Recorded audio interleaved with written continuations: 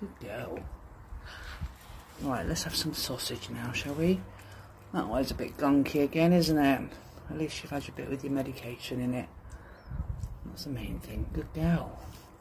So, have we seen Oreo? Because we haven't seen him now. It's what, five nights? It's getting a bit concerning. I know the weather's not helping and the blinking fireworks.